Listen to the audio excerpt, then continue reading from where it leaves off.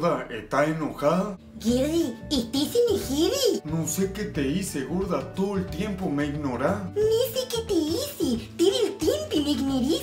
Quiero estar bien, gordita. ¿Quieres estar bien, Girditi? Quiero que cambiemos, que estemos bien, que no peleemos más, que estemos más unidos, que tú... Más despacio, que no me da tiempo a ignorar todo lo que decís. Te extraño todo, extraño el olor de tu perfume. ¿Te lo vendo? No sea irónica. Uso ironía porque no puedo usar una ametralladora, Juan Carlos. Extraño estar con vos, extraño abrazarte. Psst, pero anda a abrazarle a toda esa zorrita cara de galleta que vos mirás en el internet. Trata de calmarte.